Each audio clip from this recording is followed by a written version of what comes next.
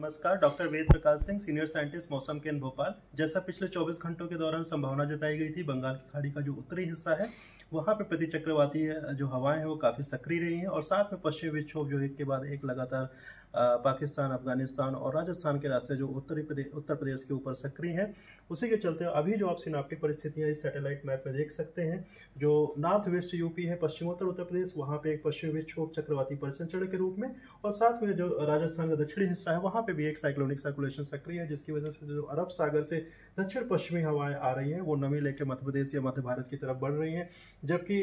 जो wind discontinuity या trough कह सकते हैं, ये छत्तीसगढ़ विदर्भ के रास्ते आपका जो दक्षिण पठारी भारतीय क्षेत्र है, वहाँ तक विस्तृत है, जिसके कारण बंगाल की खाड़ी से जो दक्षिण पूर्वी प्रति चक्रवाती हवा है, वो भी नमी लेकर मध्य भारत की तरफ़ बढ़ रही है और इसी के चलते हुए आगामी पाँच से छः दिनों का जो हमने पूर्वानुमान जारी किया है, वो आप मैप में देख सकते हैं यहाँ पे।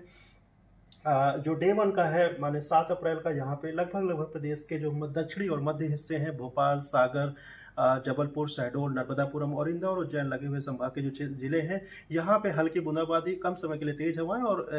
थोड़े समय के लिए वज्रपाती घटनाएँ देखी जा सकती हैं। हालाँकि 24 घंटे बाद ये जो एंटी साइक्लोनिक सर्कुलेशन है north west bay of Bengal में ये थोड़ा और इंटेंस होगा और इसी के चलते हुए जो मॉइस्चर इनकर्जन है, कल से ये बढ़ेगा। यहाँ पे हमने डे टू के लिए आठ अप्रैल में जो दक्षिणी ज़िले हैं, बैतूल, छिंदवाड़ा पांडुर्णा सिवनी मंडला बालाघाट और डिंडोरी, यहाँ पे ऑरेंज अलर्ट दिया है, जहाँ पे हल्की ओलावृष्टि के साथ साथ तेज हवाएँ 40 से 50 किलोमीटर प्रति घंटा की रफ्तार से चल सकती है, जबकि इनसे लगे हुए जो दूसरे ज़िले हैं, भोपाल, सागर, शहडोल और जबलपुर संभाग के ज़िले, यहाँ पे भी येलो अलर्ट माने तीस से चालीस किलोमीटर प्रति घंटा की रफ्तार से हवाएँ और कम समय के लिए हल्की वर्षा की संभावना है।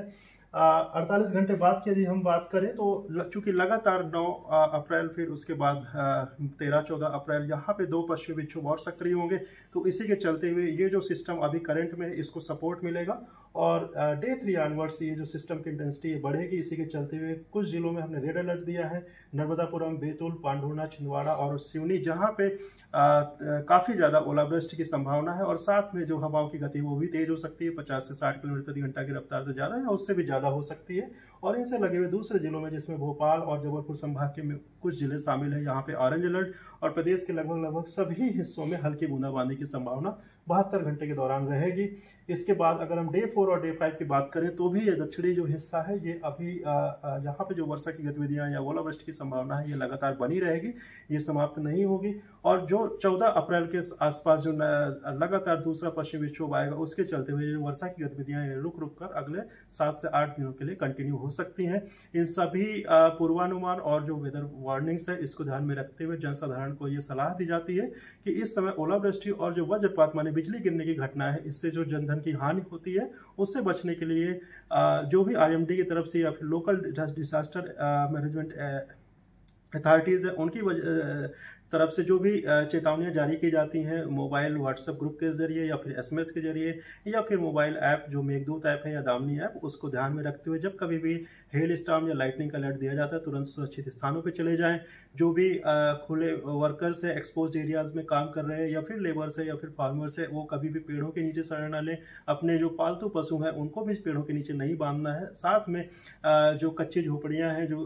मड हाउसेज है, या फिर दूसरे जो कॉन्क्रीट स्ट्रक्चर या फिर पोल्स है जिसमें विद्युत का संचालन हो सकता है बिजली गिरने के दौरान, उनसे दूर हट जाएँ और सुरक्षित स्थानों पर रहें। इसके अलावा अगर हम एग्रीकल्चर के हिसाब से एडवाइस करें तो जो भी फार्मर्स है, उनके लिए चूँकि ये बहुत क्रिटिकल टाइम है हार्वेस्टिंग पीरियड चल रहा है फ़सलों की कटाई का तो उनको ये सावधानी रखनी चाहिए। जो भी अभी फ़सलें वो काट कर ऑलरेडी खेतों में खुले छोड़ चुके हैं, उनको तुरंत सुरक्षित स्थानों पर कर लें, जहाँ जहाँ भी वर्षा की संभावना है, खासकर उन जगहों में। और दो से तीन दिनों के बाद जो कटाई की प्रक्रिया है, या सिंचाई की प्रक्रिया, जो हार्टिकल्चर क्रॉप्स वगैरह में है, उसको रोक दे। कम से कम दस दिनों के लिए उन्हें पोस्टपोन कर देना चाहिए। धन्यवाद।